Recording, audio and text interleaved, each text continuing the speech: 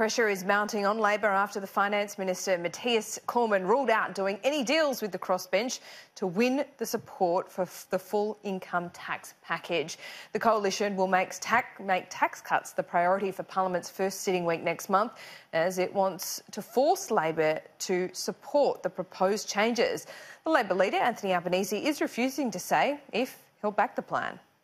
Then they're talking about tax cuts in terms of stage three, where they haven't given us the information about what the impact is uh, in terms of the budget for various income groups. We're still waiting for that information from the government. Mm -hmm. We'll make a sober assessment based upon the facts. But what we won't do also is disregard the impact on the economy. And of course, we're prepared uh, to uh, engage with uh, non-government senators in relation to these matters. But, you know, in the end, you've got to make judgments on these matters uh, on their own merit. Because a lot of the uh, crossbenchers are grandstanding, aren't they, in terms of their demands? Well, individual senators are obviously absolutely entitled uh, to raise issues that are important to them, to uh, promote them and to advocate uh, for them, of course. And, and, we will continue to engage with them